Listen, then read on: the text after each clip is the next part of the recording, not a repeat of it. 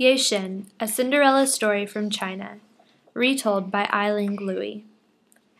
During the time of the Qin and Han dynasties, a cave chief named Wu married two wives and each gave birth to baby girls.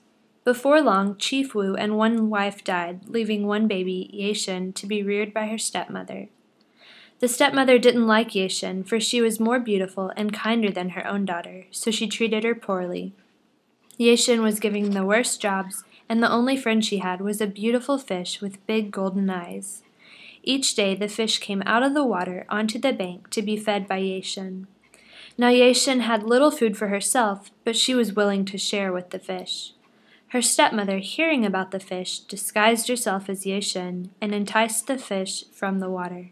She killed it and cooked the fish for dinner. Yeh-Shen was distraught when she learned of the fish's death.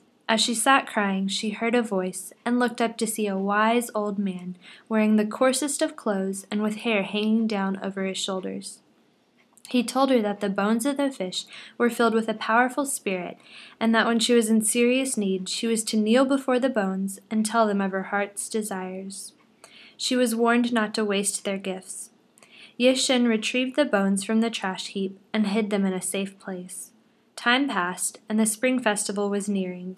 This was a time when the young people gathered in the village to meet one another and to find husbands and wives.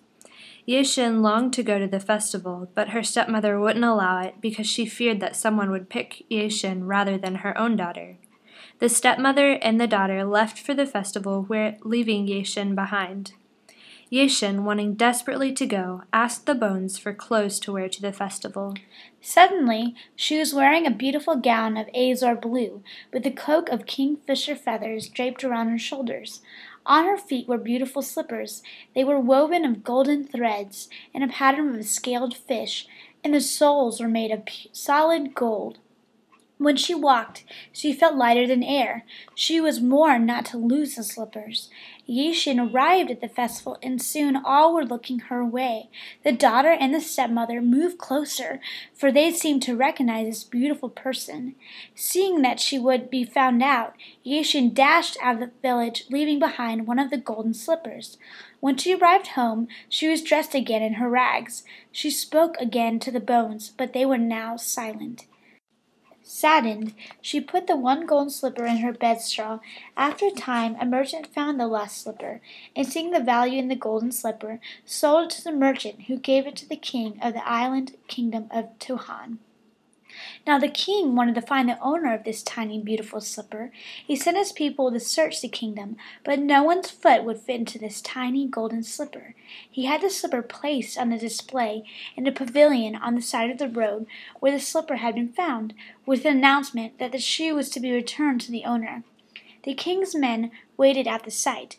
All the women came to try on the shoe.